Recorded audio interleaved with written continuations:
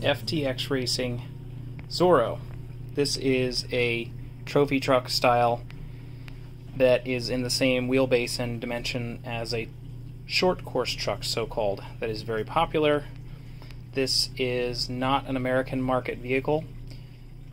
There was a similar version that was sold by Hobbytown under the Vetta Racing name and is apparently discontinued. I got this one from the UK. This is a ready to run truck. It is, I would say, a beginner spec truck. It's not for competition, not out of the box, and it doesn't have a lot of aftermarket support. This is designed to be more of a scale design. You've got these molded driver figures, you've got beadlock style rims, fully detailed body, a full size actual tire on the back, and most importantly, you have a live rear axle, which is definitely not advantageous for racing. You have a FlySky GT2 rebranded transmitter here. Very standard, does not even have throttle, dual rate, just steering and steering trim and reverse. Very simple transmitter, but this is a beginner truck, so perfect for that. And I think this is this truck is is cool mainly because it's more scale. So let's dive into more of the details. I like to get more nitty gritty and more technical, so it's going to be really boring. Uh, this is definitely just something that I appreciate. I like to go into maybe the whys and wherefores of this design. I think others might like it as well, but not for everybody. This is not um, entertainment per se. this is not for kids. This is more for nerdy middle-aged men like me. With a battery loaded in here, nice that they have Velcro straps, by the way, so you can put varying types of batteries in here. Nice damping. I'll drop it a few times, but that's pretty nice.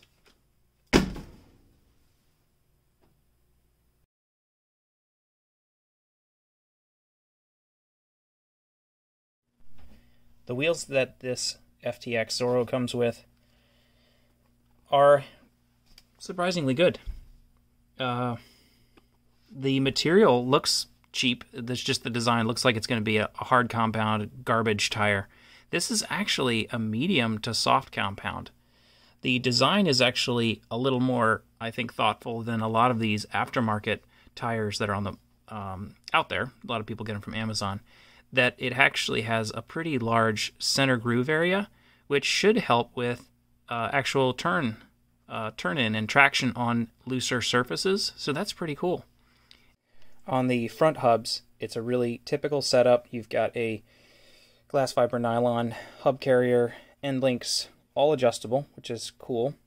And you have a what I call a captured dog bone or partial CVD. So this side is a CVD captured, and then the, the side up near the axle right there is just a dog bone in a socket right there. Plastic 12 millimeter wheel hub things, whatever you want to call these. Um, shielded bearing inside, and pretty pretty simple setup. But we've got a the rear swing arm here, the lower swing arm, and I like how this is captured. So you've got a hex head bolt with a nut on the other side, and then the bottom of this arm is actually closed. It's not open.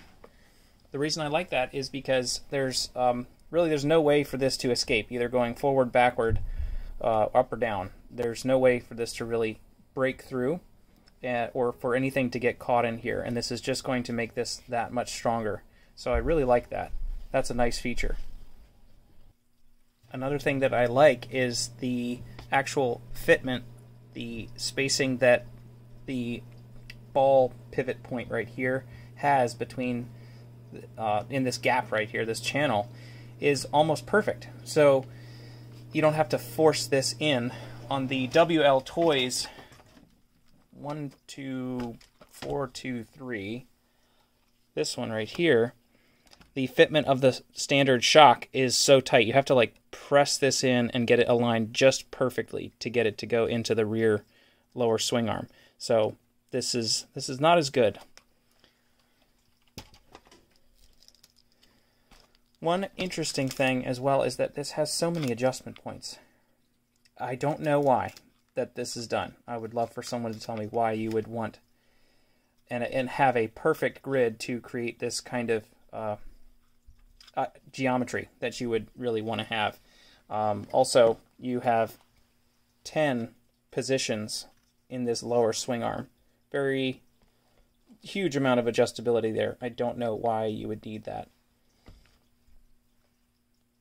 Another interesting thing here is you have a second set of holes on this hub assembly right here. So you can change your steering geometry. So if you pull like this, the farther that servo goes, the ratio will increase, I believe. And so you'll end up with more turning angle with more um, steering lock. You're going to actually, it's going to start to, it'll have a curve basically. So as you turn, it's going to go like that really quick and you can get some really aggressive turn in. Only thing to uh, be careful of is not to overturn these axles or the actual servo itself. Set your endpoints so you don't damage the servo.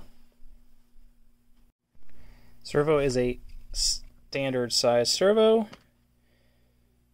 Probably just a fake brand made somewhere in China. They've got a S ESR1 sport on there. Sport. That sounds really good. The servo saver is not adjustable. It's just a, a fixed spring. Not crazy about that. so hopefully that's not too soft. If a servo saver is too soft, it just if you're going through rough uh, terrain or you're trying to push through a turn or manipulate the car through a turn get to get oversteer, understeer, this is this is something that's great for bashing. It's great for newbies, but as you hopefully get better at driving, you might discover this is an annoyance. Um, sometimes you can actually fix these by using a soldering iron. Set it to about 500 degrees, and then this little joint. See if I can zoom in there. I don't know if I'm going to be able to capture that this little spot right here, you can kind of see the seam just right there. You can take a soldering iron and go back and forth between that and basically weld it together, and that should improve things. The ESC right here kind of looks like the generic Reedy ESCs that everybody uses, and then they just put their own name on it. Nice. It has uh, jumpers for lipos as well as NiMH NiCads, so that's cool. Don't know why it has a Tamiya connector still in 2022. It was made 2021 apparently. Waterproof on-off switch. Looks like a dust debris resistant receiver box, which is pretty cool.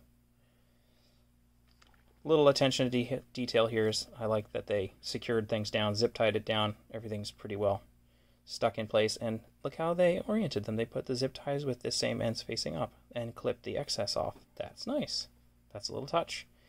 This is not fastened down as far as I can tell. It looks like it's probably just some kind of double-sided tape.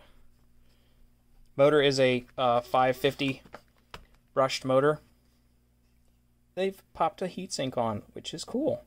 And this kind of looks like it should have holes drilled in it so you could attach a fan but there aren't any holes, so I guess you would drill your own. The gearbox, as far as I know, there is no gear reduction, just the actual pinion gear from the motor to a spur gear right here on this main drive shaft area. So there's there's really no fancy stuff going on in there. Pretty simple setup. And I will say, even on the WL Toys, even though the main spur gear here is plastic, you can run a ton of power through it and it has no issues. The um, these are 32 pitch gears, I believe, inside, and the coarser teeth don't seem to have issues like the 48 pitch or um, you know the finer ones. So that's that's good. The front shock tower is pretty small. I'm just thinking that this just does not have a lot of weight over it. Uh, but the material itself, while it is looks pretty petite, it's pretty rigid. Um, it's, that's pretty stiff. It is integrated. Yes, it appears to be integrated into that front differential casing. Yes. So this is all one piece. So if you break your shock tower, you have to replace the differential case as well. That's not that great. Right here I can actually see, I'm just noticing the glint finish work on this piece right here. The molding and the finish work is not there. It's just there's sharp there's some sharp edges. So not the highest quality there. You compare that to something like the ECX Torment right here. Similar design, not a really big, heavy duty shock tower, but this is quite a bit more rubbery. So I like the more rigid setup.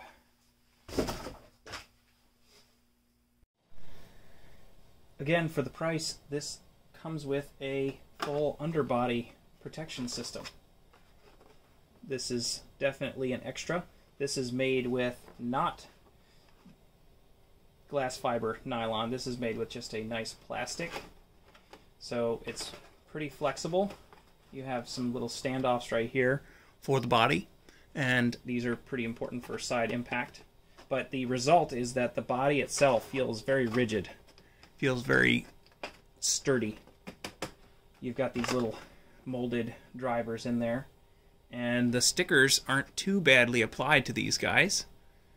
So this is all screen printed, um, all these nice designs, and then they've pre-applied all these decals. Again, very well done overall. Lots of cool fake, fake uh, sponsors. Not Firestone, but Firestorm. Not, um, I don't even know what that is. It's supposed to look like Sparco, but it's something else. Eparco, HPZ. And of course, don't forget N and M oil filters.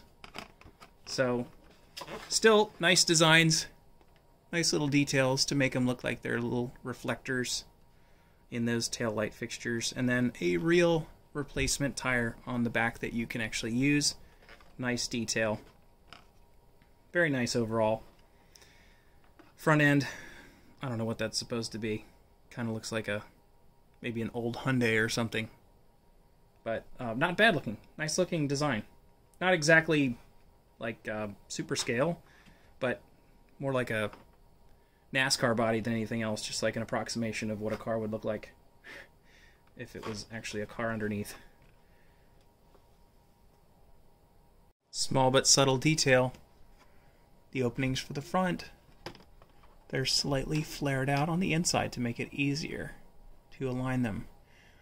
Um, one thing I didn't point out, the body mounts themselves, they're screwed onto the body and then there's rigid fixtures all the way around.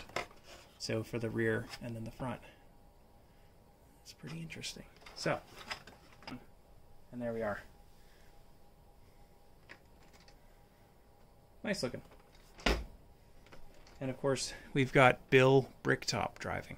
Bill Br- Bricktop, you know. He's the best.